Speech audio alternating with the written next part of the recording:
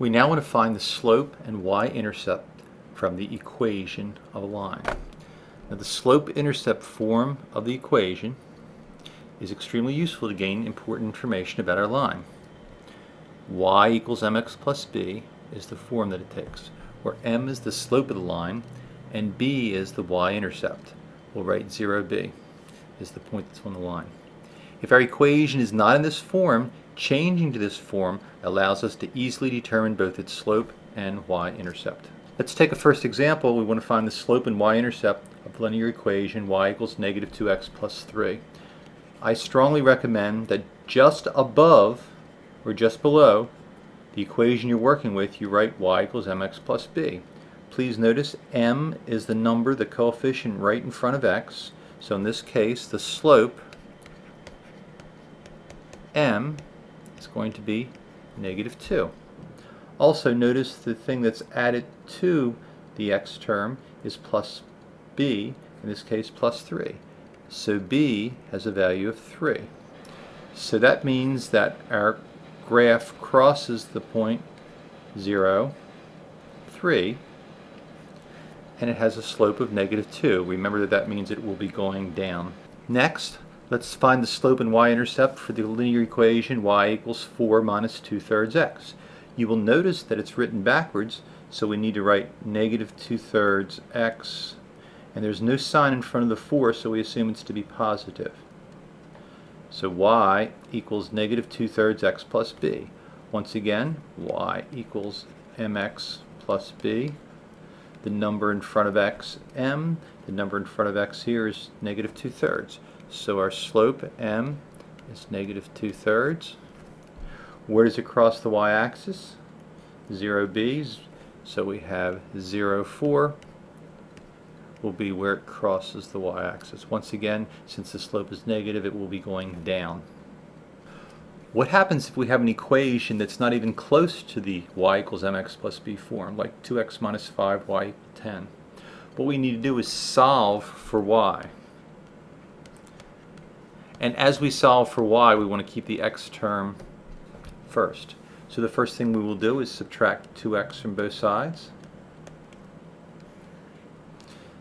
The x's cancel out from the left. We have negative 5y. Don't forget the negative sign. It's easy to forget to do that. Let's put the x term first, negative 2x, and since there's no sign in front of the 10, we'll do a plus 10 here.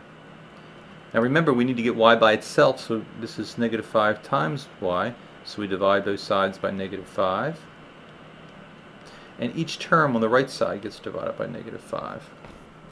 So now we have y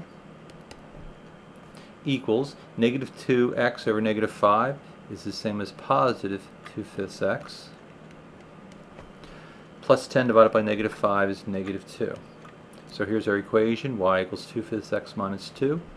Remember, we have y equals mx plus b. The number in front of x is positive 2 fifths. So the slope, we have 2 fifths. And b, notice we must include the negative. Where does it cross the y-axis? 0, negative 2. Once again, suppose the equation is written in a very foreign form to the slope-intercept, 3x plus 7y minus 10 equals 0. Once again, we want to solve for y. So let's begin by subtracting 3x from both sides. Now please make sure that we're subtracting 3x from the left side of the equal and from the right side.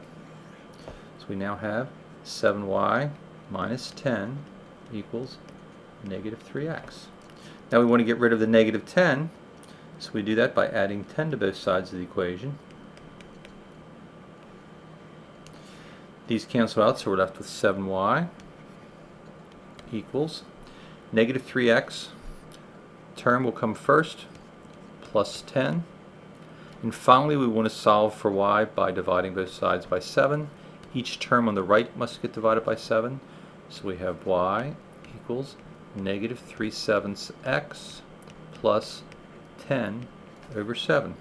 So if we write y equals mx plus b, m will be our negative 3 sevenths,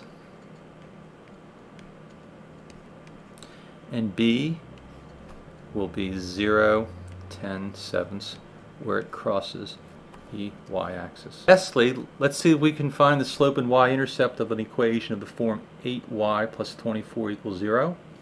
Notice we want to solve for y, so the first thing we need to do is move the 24 to the other side of the equation. So we're left with 8y. This cancels out, equals negative 24. Now we divide both sides of the equation by 8. So our equation is y equals negative 3. Now this doesn't look much like the equation we started with. Notice if we wrote y equals mx plus b, notice there's no x term here. If there is no x term, that means that m has to equal 0 because 0 times the x term would make it disappear. And where does it cross the y-axis? At 0, negative 3.